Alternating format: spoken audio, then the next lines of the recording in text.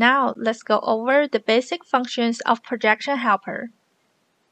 Let's have a look at this management window. Here we can see the camera, the image, and the model used in the projection. They are clearly listed so we can better manage them. And from here, we can send certain things to Blender, Krita, Photoshop, or any other software listed here. Below is a list of unused models. And we can click the refresh button to refresh this data. Then let's go here. When the server is not started, we can see the word Fusion is in white.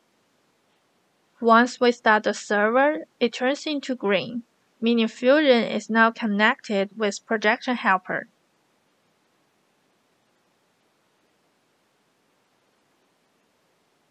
Similarly, when we click on Connect here in Blender, the name Blender is in green too. So now we can transfer data between Fusion and Blender. The same goes for Krita. Click Projection Helper here and press Connect. See, all the three names are in green. It means we can now transfer data between each two of them. Next, let's come to Export we can export camera in Fusion to Blender,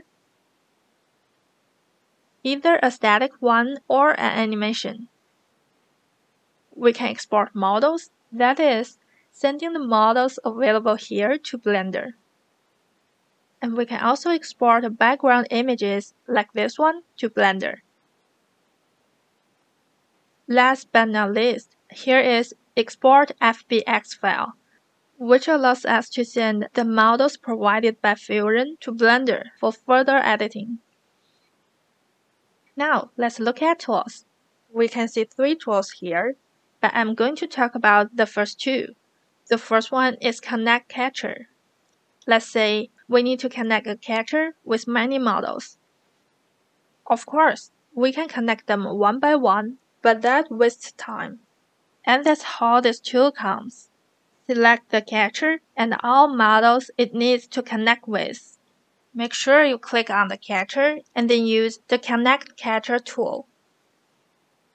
Just one click and they are all connected. The second one is Camera Clip. As we all know, in Fusion, the minimum for camera near clip is 0.05. So, when we place the camera very close to an object, there will be some problem. In order to solve this problem, we can use the tool Camera Clip. With it, we can set near clip much lower.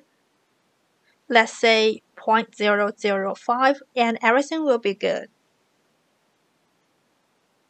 Okay, let's end it here. That's all about the basic functions of Projection Helper.